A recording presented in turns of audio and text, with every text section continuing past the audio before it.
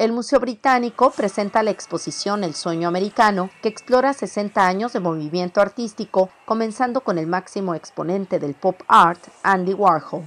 The American Dream es un recorrido por los coloridos grabados icónicos de Warhol con la serie de Marilyn Monroe y sus mensajes políticos con un póster del líder comunista Mao Zedong. La muestra abarca desde los colores explosivos y saturados del movimiento pop art, pasando por el arte minimalista de los años 70. La exposición, que fue concebida mucho antes de las elecciones presidenciales en Estados Unidos, se cuestiona si el sueño americano está a punto de desintegrarse a través de los ojos de los artistas. En los años 60, hechos políticos como la llegada del hombre a la luna y el asesinato del presidente John F. Kennedy inspiraron a toda una generación de artistas.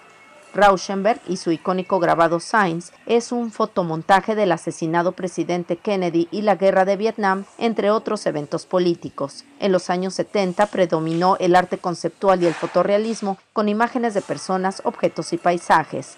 La litografía y el grabado han sido explotados hasta la fecha por grupos artísticos para abordar el tema del SIDA en los años 80. La doble bandera de Estados Unidos del artista Jasper Jones es el logotipo de la exposición que abrirá sus puertas al público con 200 trabajos de 70 artistas.